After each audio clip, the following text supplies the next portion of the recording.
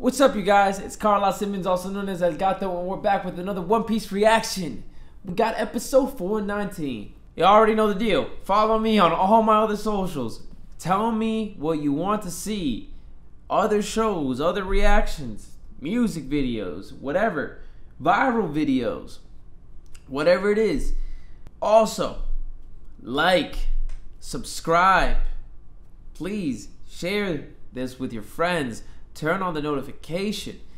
I am really trying to branch out with the type of content I make, and I'm trying to make it better and better. I'm, I feel like I'm really starting to get comfortable with the reaction format that I've created, that I worked on. I wouldn't say I created it because there's probably other people that done it the same way, but I've never seen anyone else do it like this. So, so just tell me what you guys want from me. I'm also gonna try to start adding in music into the background for you guys, uh, just so you guys can hear something when it's silent. So it's not just me talking. I might add it into this one. Who knows? Completely forgot to say this. Oh my god, I'm so sorry. But in the last episode, what we ended up seeing was uh, Nami on that island, uh, the weather island, and then we saw Franky arrived at Vegapunk. That was about it. Besides Luffy actually getting on the ship with Boa, and Boa just straight up having the biggest daydream. Oh, Boa's kicking in because she wanted more food for Luffy. What is up with this pose? How does everyone like this pose? It. What? Oh, and now I remember someone saying, commented like, Loa Boa looks uh Boa looks down on you so much that she looks up. Now I understand what he was saying. Oh god, that just finally clicked my head. Why does she daydream Luffy to look so weird and different? And what's up with those eyebrows? Them eyebrows be scary, scary. I definitely don't like them. Boa goes from the coldest bitch in the world to this in two seconds for Luffy. I don't like that. They could have made Boa such a strong female character, but she's just down bad for Luffy. Boa is so down bad for Luffy. It's so crazy.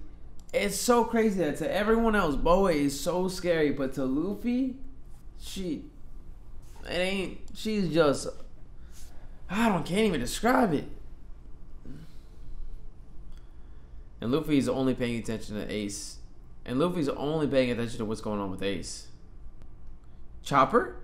Best boy Chopper. So it looked like it was a kind of a spooky place. But I wonder where Chopper's ended up.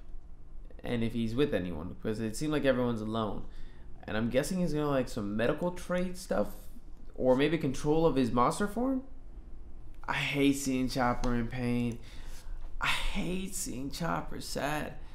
I love Chopper. Chopper is the best boy. To me, he's just one of the best characters because he is truly like child innocence and child emotions. He's a walk like he's a he's an embodiment of that, and it just it warms my heart. It makes me just feel like a kid sometimes. This hurts to see. This hurts me so much. What are these birds? Chopper is going to die right now just from fright because those birds are huge. I do like the design. I've always said this though. The animal designs in One Piece are really, really good. I've always enjoyed them. They're very unique. But Chopper's definitely to be afraid right now. Afraid, afraid. Chopper freaking out is just funny to me. Holy shit, what's going on on this island? It's just one giant tree. Oh, I'm guessing he's gonna learn a lot about herbs and plants and insects here to help his medicine. That is what I'm thinking. They're just bullying Chopper. Poor little Chopper. Oh, damn, that's not good. Are they gonna... Are they gonna try to cook Chopper? I do not want them to even attempt to cook Chopper. No, no, no, no, that's not okay. Yeah, Chopper, become strong. Why does he always skip leg day? Why does it always look like Chopper skipped leg day? Oh, why does it always look like that with a lot of One Piece characters?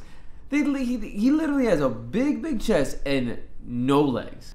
Alright, we all know that Sanji's gonna be daydreaming or something and that this woman might not even be a woman or that she won't look that attractive. That's what I feel like is just gonna happen.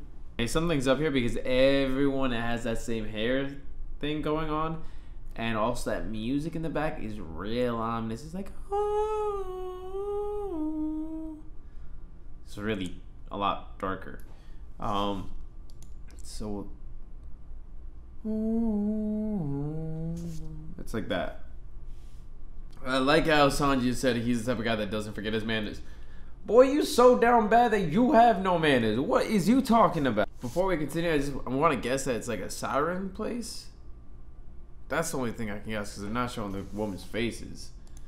So I'm guessing that like this is a siren island. I'll say this: this episode is just so goddamn awful. The whole chopper thing was cool, but this is just this isn't it at all. And to look back at it, the last episode is the only cool thing was Nami, but I'm hoping for some build up with uh, Vegapunk. But all this just isn't it. This has just been a terrible episode. It feels like the the ratings in Sabaody arc has just gone downhill so so fast because the Amazon Lily was trash to me, and whatever this is isn't that good uh, at all either. It just feels so stupid. I don't know why.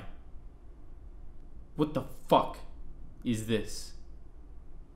This ain't it. But I was right that it wasn't definitely wasn't a woman that he was daydreaming about. That's scary. What the hell is going on here? Is this a trans country like that? Cross dressing. Uh, what type of country is this? I'm guessing it's a trans or cross dressing or drag queen. Which that all I do respect.